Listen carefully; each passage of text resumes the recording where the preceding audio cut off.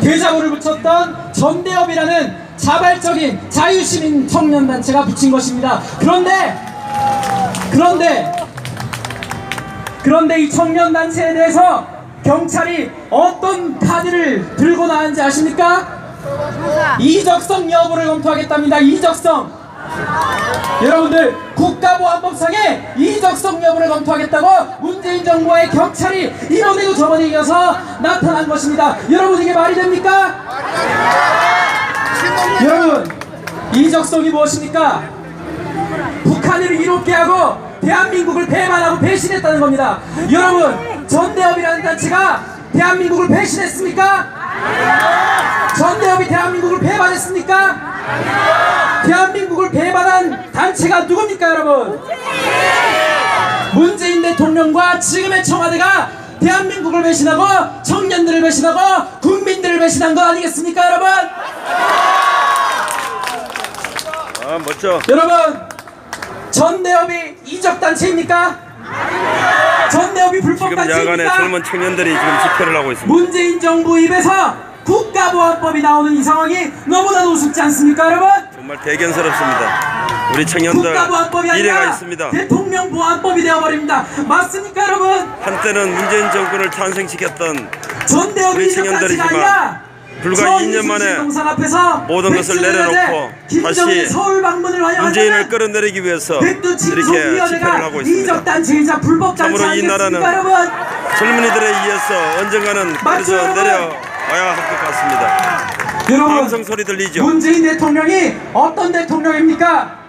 청년들이 만들어준 대통령입니다. 맞습니다. 지난 19대 대선 때 본인들도 20대 시인하고 48%, 있습니다. 청년들이 30대 만들어준 문재인 정권. 57%, 2030 세대 청년들이 만들어준 대통령이자 정부인 것입니다. 그런데 그 청년 대통령, 그 청년 정부가 청년들을 짓밟고 국민들을 무시하고 있습니다. 맞습니까, 여러분? 청와대의 일자리 상황판은 일자리 상황판이란 일자리 상황판이 아니라 낙하산 상황판이 되어버렸습니다. 맞습니까, 여러분? 맞습니다. 말 잘한다. 20대의 지지율이 낮아진 이유는 자신들의 잘못이 아니라 자신들의 잘못이 아니라 잘못된 교육 이명박근혜 정부 때 잘못된 반공교육이라는 여당의 망언을 가만히 둬서 되겠습니까 여러분? 청년 체감 실업률은 25% 사상 최악을 기록하고 있는데 청년들의 고용 상태가 괜찮다는 문재인 정부의 망언을 보면서 우리 청년들은 분노했습니다. 맞습니까, 여러분? 맞습니다. 사실 저는 이런 집회에 관심이 없었습니다. 여러분들도 관심이 없었을 겁니다. 하루하루 그저 일상에 충실하고 그저 우리 자식 새끼들 돈이나 한번 식사나 한번 제대로 된 옷이 나 한번 입혀보려고 묵묵하게 살아왔습니다. 맞습니까 여러분? 그런데 그랬던 우리를 지금 이 자리에 지금 이 광화문에 불러낸 장본인이 누굽니까 여러분? 문재인 대통령 아닙니까 여러분? 대통령도 아닙니다.